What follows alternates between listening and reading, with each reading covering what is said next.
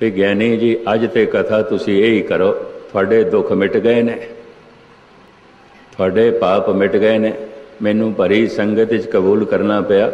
ਮੈਨੂੰ ਸਮਝ ਆ ਗਈ ਹੈ ਪਾਪ ਕਿਵੇਂ ਮਿਟਦੇ ਨੇ, ਦੁੱਖ ਕਿਵੇਂ ਮਿਟਦੇ ਨੇ। ਮੇਰੇ ਦੁੱਖ ਮਿਟੇ ਨਹੀਂ, ਮੇਰੇ ਪਾਪ ਮਿਟੇ ਨਹੀਂ।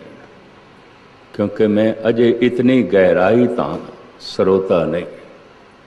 ਮੈਂ ਇਸ ਨੂੰ ਕਬੂਲ ਕਰਦਾ। ਤੁਸੀਂ ਨਿਕੰਮੇ ਚੱਕਰਾਂ 'ਚ ਵੀ ਨਾ ਪੈਣਾ, ਮੈਂ ਗੁਰਬਾਣੀ ਦਾ ਵਕਤ ਆ ਕੇਵਲ ਵਕਤ ਅਰਥ ਬਹੁਤ ਸੁਣਾਉਣਾ ਪਰ ਇਸ ਨੂੰ ਤੁਸੀਂ ਹੰਕਾਰ ਸਮਝ ਲਓ, ਮੈਨੂੰ ਸਮਝ ਆ ਗਈ ਹੈ। ਸਮਝ ਆ ਗਈ ਹੈ। ਦੁੱਖ ਕਿਵੇਂ ਮਿਟ ਸਕਦੇ ਨੇ, ਮੈਨੂੰ ਸਮਝ ਆ ਗਈ ਹੈ। ਪਾਪ ਕਿਵੇਂ ਮਿਟ ਸਕਦੇ ਨੇ, ਇਹ ਮੈਨੂੰ ਸਮਝ ਆ ਗਈ ਹੈ।